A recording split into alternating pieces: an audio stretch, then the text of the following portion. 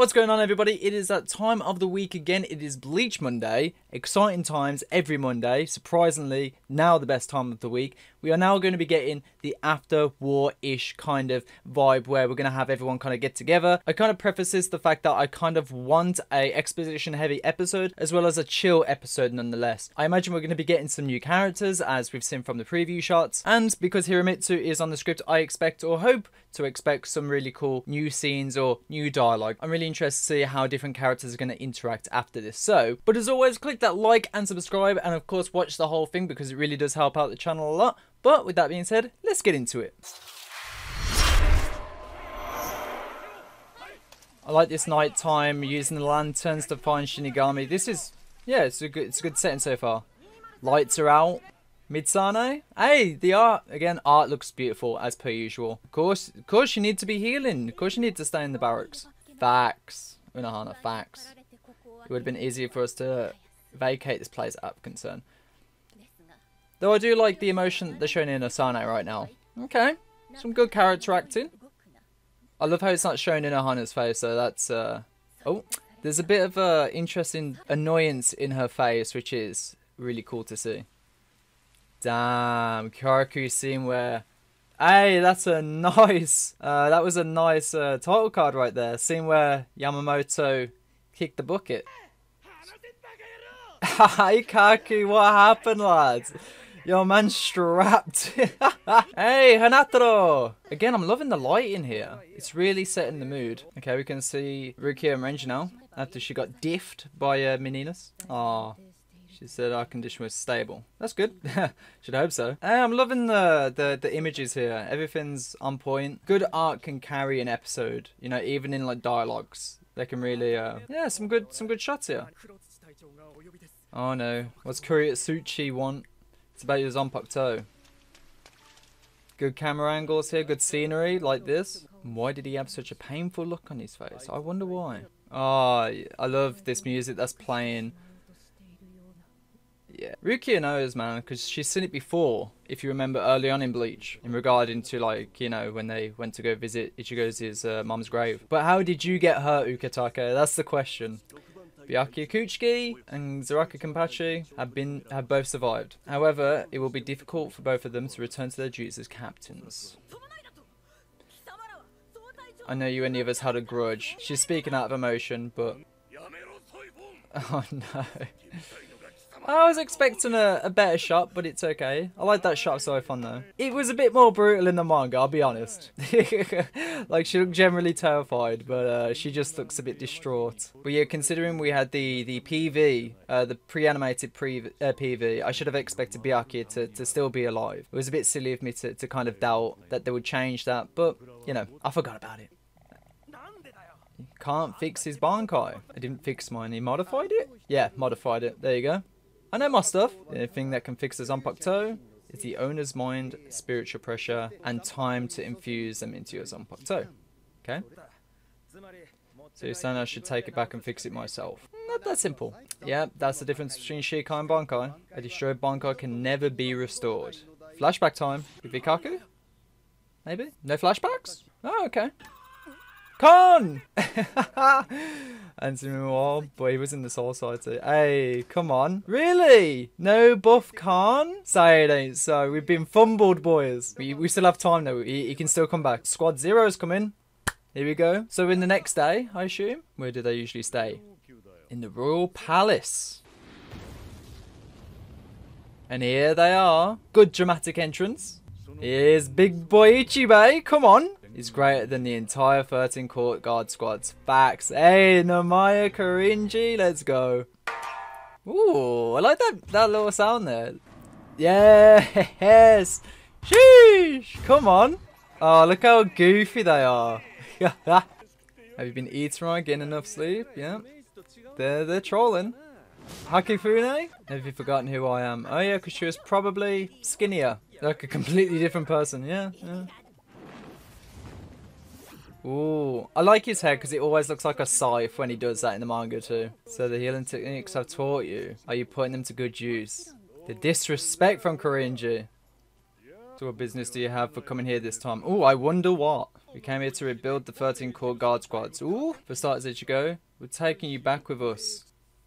I don't care how point zero squad is, but we're relaxing above while the Seireitei was getting destroyed. Ah, uh, that's not good. Damn, she just got ignored. Sheesh, hey.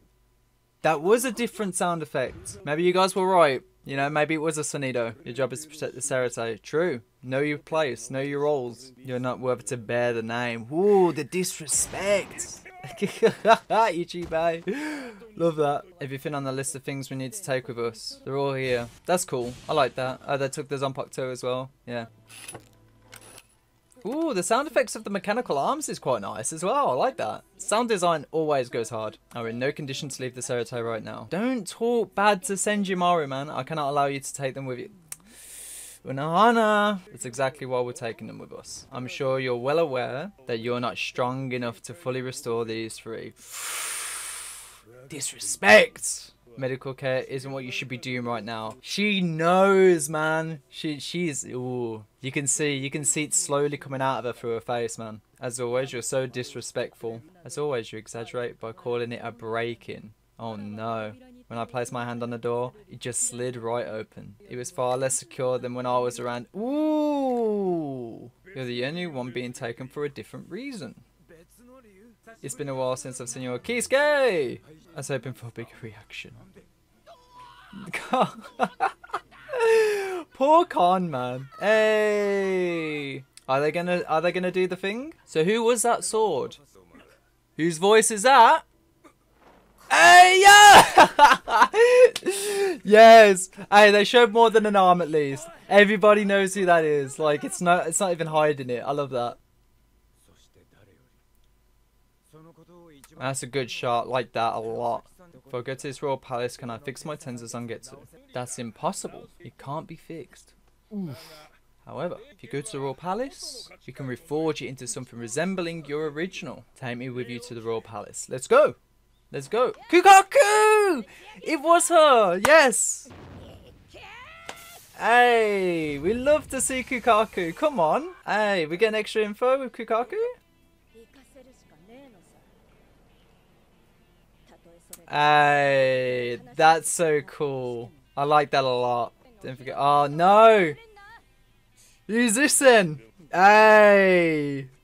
Ginjo, Tsukishima, Kiriko. Please be relevant in this arc, please. Hey, Royal Palace. Hey, that looks nice. It gives me like uh, a Dende's kind of palace, uh, you know, a Korin's tower kind of vibe for some reason. But I like it. I like the the sky and whatnot. So I'm not really sure I can call you an ordinary Soul Reaper. True. What does he know? So this is the place Aizen was so desperate to to get there. Yeah. The Quincies that showed up this time are even greater evil than Aizen. Was Aizen evil? That is the question. But you know, what's what's what's all this then? right now we're at the main entrance. Over there in the main shrine, the Rayo Great Palace. That's where the Soul King resides. Okay. You'll be going to my Kirinden, all of you. Hot Springs! Will they do it? Will they do it? You're soaking in the hot spring, of course, while you drown in them. I'm soaking them in hot water to squeeze out their damaged spiritual pressure along with their blood. Damaged spiritual pressure. See that red hot spring over there? Loving how this looks so far. We're going to take Byakuya, who's completely squeezed out. And Yo, man just lobbed him. I draw out the blood and white. Okay, and replenish it in the blood pond hell. I repeat this several times. In the end, every drop of bad blood and spiritual pressure in their bones will be swapped out with my hot water. That way I can heal others. One night is enough to make you feel twice as good as normal. Need that. My back is killing. Really? That's a really weird way to end an episode. But I believe there is a post-end credits. So it's not that bad, but that's a weird placement. Man really picked up Byakuya and just that was funny though. I like that. What's all this then? What's this noise? Oh, okay, we're gonna see the Soul King. Okay. It seems you're awake. Soul King, Rayo. Okay. Really? Really? And Bleach 09 The Drop. So that was Bleach episode 8. Again, not a reaction heavy like episode where like I'm jumping of excitement, but a lot of interesting points to be thrown in there. And again, with anything Hiromitsu thrown in, you just know that there's going to be some extra content in some sort of way. And it was nice to see Kukaku.